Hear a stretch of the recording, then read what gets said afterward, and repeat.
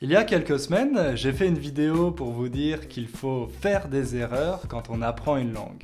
Parce que si on fait des erreurs, ça prouve qu'on pratique.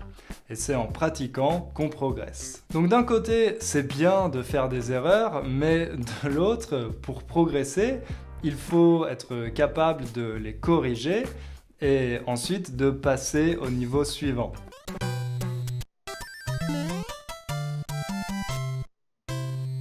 Ça veut dire de faire de nouvelles erreurs un nouveau type d'erreur que vous ne faisiez pas avant. Et justement, mon objectif avec cette vidéo, et peut-être les futures vidéos de grammaire que je vais faire, c'est de vous aider à faire attention à ces petites erreurs, à les remarquer.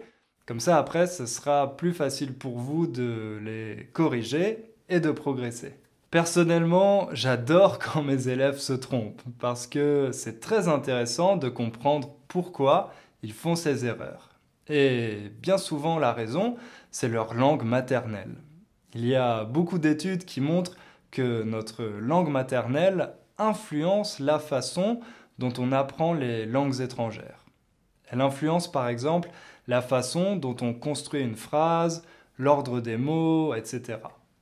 C'est un sujet assez complexe, donc euh, je ne vais pas entrer dans les détails, mais je vais mettre des liens vers ces études dans la description de la vidéo si vous voulez en savoir plus. Maintenant, je vais partager avec vous les 5 erreurs que j'entends le plus souvent avec mes élèves.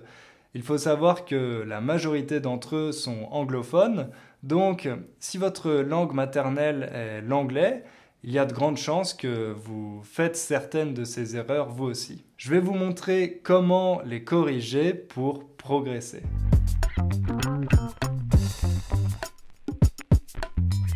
La première erreur que j'entends parfois avec mes élèves, c'est une erreur qui concerne l'âge, quand on dit notre âge. Parfois, ils disent il est 40 ans.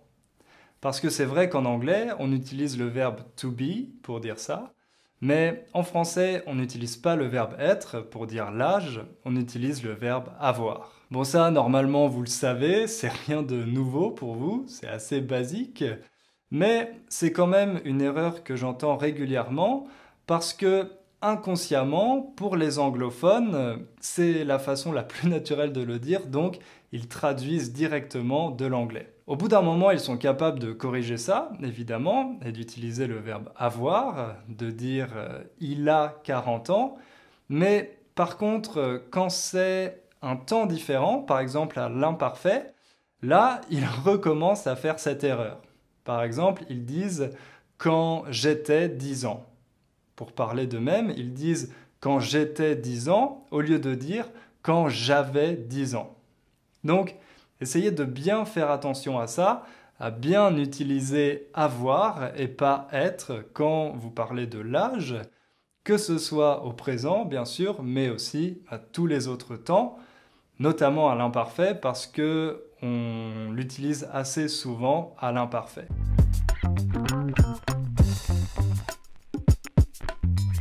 La deuxième erreur, qui elle aussi est assez basique, elle concerne la profession. Par exemple, parfois, j'ai des élèves qui disent elle est une avocate ou alors je suis un docteur.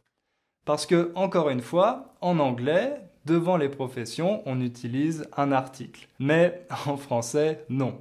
En français, avec les professions, on ne met pas d'article.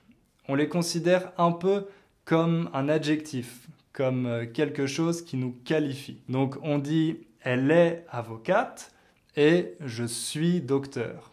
Pas je suis un docteur, mais je suis docteur. Par contre, il y a une petite subtilité. Quand il y a un adjectif après la profession, là, on doit utiliser un article. Par exemple, Emma est une avocate anglaise et pas Emma est avocate anglaise. Donc on dit Emma est avocate, mais Eva est une avocate anglaise. Vous voyez, là, il y a un adjectif en plus de la profession, donc on doit utiliser un article. Et ça, ça nous amène à la troisième erreur que j'entends très souvent.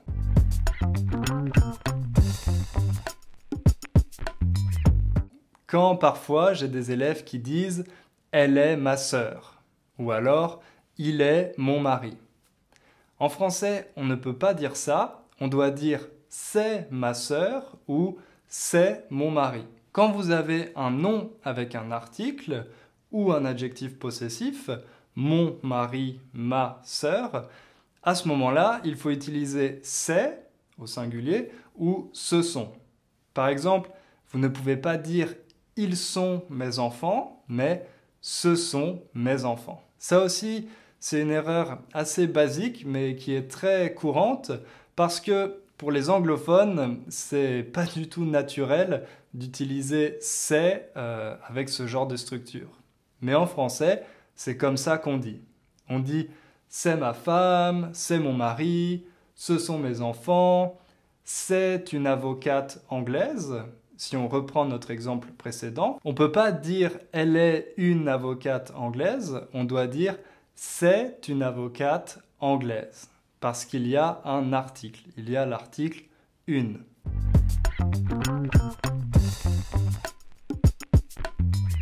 La quatrième erreur, c'est l'utilisation abusive du verbe visiter. Alors je sais qu'en anglais, le verbe visiter est très utile, qu'on peut l'utiliser dans beaucoup de contextes différents, mais en français, il est un peu plus spécifique.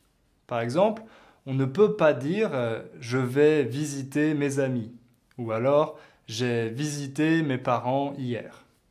En français, on ne peut pas visiter une personne. On peut rendre visite à une personne. Par exemple, je vais rendre visite à mes parents, je vais rendre visite à mes amis. Mais en général, les Français n'utilisent pas vraiment cette structure parce qu'elle est assez formelle. Ils disent tout simplement aller voir. Par exemple, ce week-end, je vais voir mes amis. Ou alors, la semaine dernière, euh, je suis allé voir mes parents. En français, le verbe visiter est très spécifique, comme je vous l'ai dit. C'est vraiment quand on fait l'action de visiter un lieu en détail, d'inspecter un endroit en détail. Par exemple, si vous allez au musée, vous pouvez dire je visite le musée parce que vous allez tout regarder avec attention.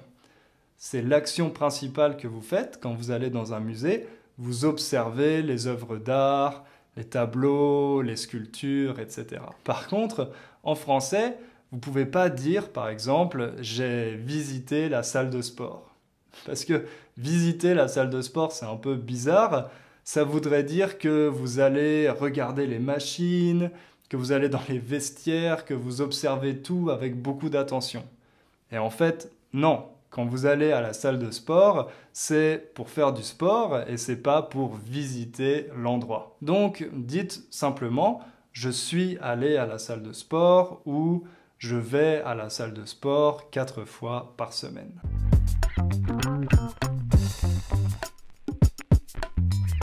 Et la dernière erreur euh, que je voudrais mentionner dans cette vidéo, une erreur que font souvent les anglophones, c'est d'utiliser juste comme en anglais. Par exemple, ils disent je suis juste arrivé pour dire comme en anglais I've just arrived.